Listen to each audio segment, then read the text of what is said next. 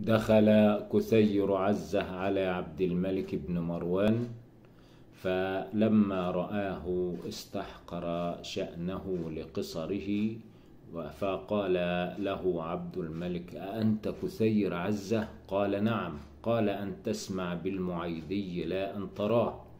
فقال يا أمير المؤمنين كل عند محله رحب الفناء شامخ البناء عالي السناء ثم أنشأ يقول ترى الرجل النحيف فتزدريه وفي أثوابه أسد هصور ويعجبك الطرير إذا تراه فيخلف ظنك الرجل الطرير بغاث الطير أطولها رقابا ولم تطل البزاة ولا الصقور خشاش الطير أكثرها فراخا وأم الصقر مقلاة نزور.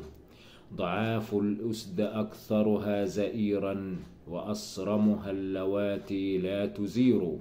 وقد عظم البعير بغير لب فلم يستغن بالعظم البعير. ينوخ ثم يضرب بالهراوى فلا عرف لديه ولا نكير. مقودا للصبي بكل أرض وينحره على الترب الصغير فما عظم الرجال لهم بزين ولكن زينهم كرم وخير. فقال عبد الملك لله دره والله إني لأظنه كما وصف نفسه.